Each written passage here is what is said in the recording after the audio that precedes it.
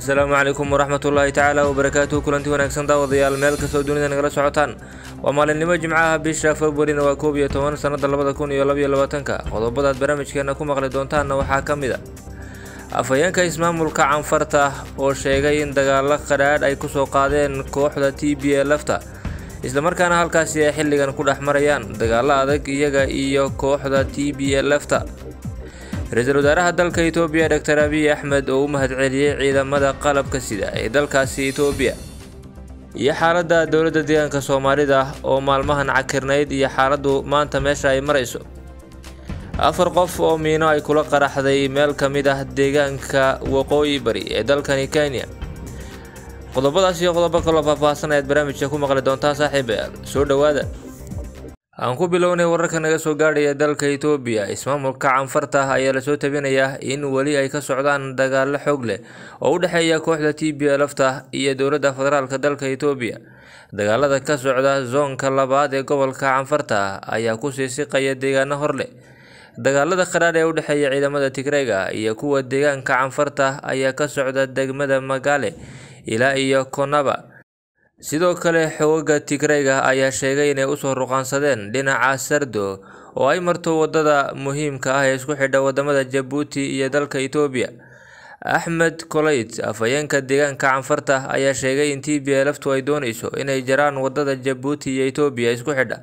wuxuuna sii raaciyey inay dagaaladu ku soo dhowaadeen. Inkasta oo uu sheegay inay ciidamada canfarta iska difaacayaan weerarada kaga imanaya dhanka kooxda t b lafta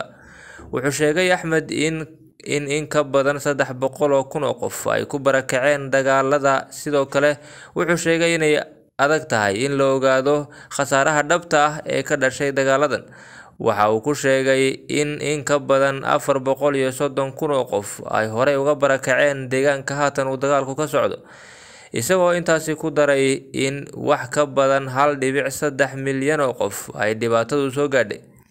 weeraro isdaba joog ah ayaa ka dhacay degmooyinka abala erabti raxle iyo magaala iyo weliba konaba kuwaasi oo inta badan ciidamada tigreygu ay gacanta ku dhigeen si kastaba ha noqotee dagaalada ka socda gobolka canfarta ayaa sii cuslaaday waqtiyadii ugu dambeysay waxaana kooxda t b laftu oo baryahanba ku tabareysanaysay. Kooxda canfarta iyo weliba maleeshiyada halkaasi kula dagaalamaysay waxaana aada looga cabsi qabaa inay dagaaladu soo gaadhaan jidka isku xidha jabuuti iyo dalka itoobiya wadadaasi oo muhiim ah islamarkaana ay gaafureegayaan ciidamada dowladda federaalk dalka itoobiya iyadoo dowladda federaalk dalka itoobiya ay sheegtay in dagaaladu meesha ay ka socdaan iyo waddada ay isku jiraan masaafo dheer islamarkaana kooxaha la dagaalamayo maleeshiyada canfartu aanay ahayn ciidamada kooxda t b lafta oo ay yihiin maleeshiya ka timid gobolka canfarta oo iskood isku abaabulay islamarkaana si qabiileysan ula dagaalamaya. Canfarta oo ay sheegeen inay ku soo xadgudbeen dhul ka mid ah gobolka tigreyga islamarkaana dagaaladii ka dhacay gobolkaasi tigreyga meelaha la ysku haysto ay gudaha ugu soo galeen gobolka canfarta oo canfarta lagu soo jebiyey dagaaladaasi islamarkaana xilligan ismaamulka canfartu uu doonayo in ciidamada dowladda federaalk dalka itoobiya uu u adeegsado danihiisa gaarka ah oo ay kooxda t b a lafta ay ka dhigaan wax iyaga la dagaalamayso islamarkaana ciidamada dalka itoobiya ay dagaal geliyaan waa sida lagu helay xogo hoose oo laga soo tabinaya gobolka canfarta waxaana la soo tabinayaa in canfarta iyo ciidamada dowladda federaalk dalka itoobiya waxyaabaha isku dhacooda keenay ay taasi ka mid tahay. Waxaanay rabeen canfartu in xilligan ay ka faa-iideystaan quwadda dowladda dalkaasi itoobiya ay ku muquuninaysay kooxda t b a lafta iyagoo rabay in meelo cusub oo deegaanka tigreyga ah ay ku gaadhaan si halkaasi ay xuduud ugu noqoto balse ciidamada dowladda itoobiya ayaa ka diiday inay caawin u sameeyaan ama ay garab istaagaan oo kooxaha maleeshiyada canfarta ee weerarka ku ah gobolka tigreyga ay garab siiyaan waxaana taasi xigtay in maleeshiyada tigreygu ay dagaal la galaan maleeshiyada canfarta. Islamarkaana canfartu ay halkaasi si xun ugu jabto iyadoo gudaha gobolka canfarta laysla soo aaday oo magaalooyin ka mid ah gobolka canfarta. Ilaa iyo haatan ay gacanta ku hayaan maleeshiyada ka timid gobolka tigreyga haatan aan eegno magaalada adhisababa waxaa xaflad weyn lagu qabtay ciidamada qalabka sida ee kala duwan ee dalkaasi etoobiya gaar ahaan kuwa ka howlgala magaalada caasimada ah ee adhisababa waxaana fagaaraha weyn ee magaalada bartankeeda ku yaalla waa adhisababa ee lagu qabtay xaflad ballaadhan ciidamada guud ahaanba qeybaha kala duwan ee dalkaasi etoobiya ee ka howlgalayay magaalada caasimada ah ee adhisababa waxaana ka soo qeybgalay xafladaasi ra'iisul wasaaraha dalka etoobiya doctor abiy axmed waxaana uu sheegay ra'iisul wasaaruhu inuu u mahadcelinayo ciidamada dalka etoobiya gaar ahaana kuwii ka howlgalayay caasimada xilligii uu dhacayay kulankii ay isugu yimaadeen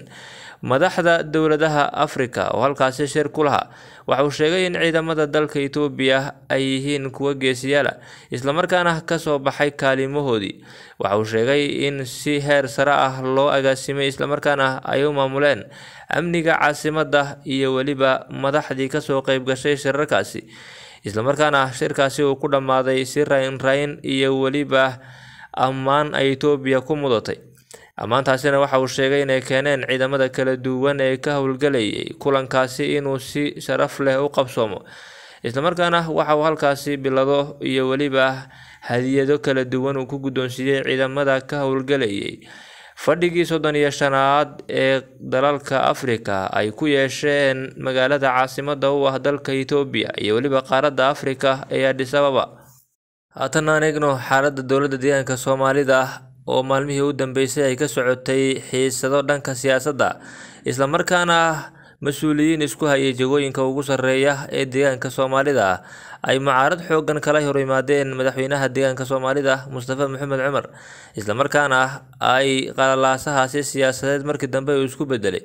qalalaaso dhanka shacabiga gaadha islamarkaana magaalada lagaga baaqo mudaharaadyo ka dhan ah madaxweynaha iyo xukuumadda haatan ka dhisan deegaanka soomaalida magaalada caasimada ah ee jigjiga ayaa waxaa ka jira guux siyaasadeed oo xoogan islamarkaana waxaa halkaasi ku sugan madax badan oo mucaarad ku ah madaxweynaha deegaanka soomaalida iyadoo madaxweynaha iyo weliba ciidamada gaarka ah ee liyo booliskuna halkaasi ay ka sameynayaan howlgallo kala duwan oo la doonayo in xiisada lagu dejiyo. Waxaana mas'uuliyiinta mucaaradka ku ah madaxweynaha deegaanku ay shirar kala duwan ku qabanayaan magaalooyinka jigjiga iyo weliba nairobi islamarkaana meelahaasi ay ku shirayaan xisbiyada mucaaradka ku ah iyo weliba xisbiga taladan haya qeybtiisa xilligan fallaagooday ee ka hortimid madaxweynaha deegaanka iyo guud ahaanba xukuumadda ka dhisan deegaanka oo ay dhaleeceyn xoogani u jeediyeen.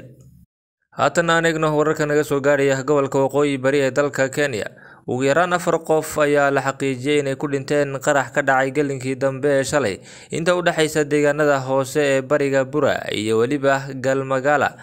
oo ka wada tirsan deegaanka faafi ee ismaamulka gaarisa qaraxa oo ahaa nooca miinada dhulka lagu aaso ee loo yaqaano i e d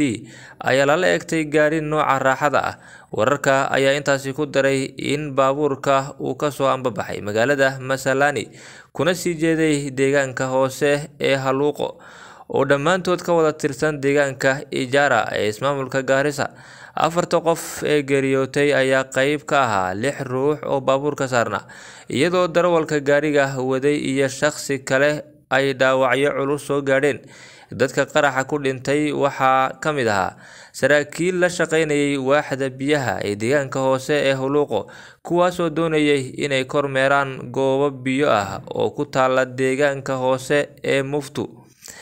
Ma cadda cidda ka dambeysay qaraxan balse waxaa la tuhunsan yahay inay ka dambeeyeen dabley hubaysan oo ka tirsan ururka argagixisada ah ee ka dagaalamo dalka soomaaliya ee al-shabaab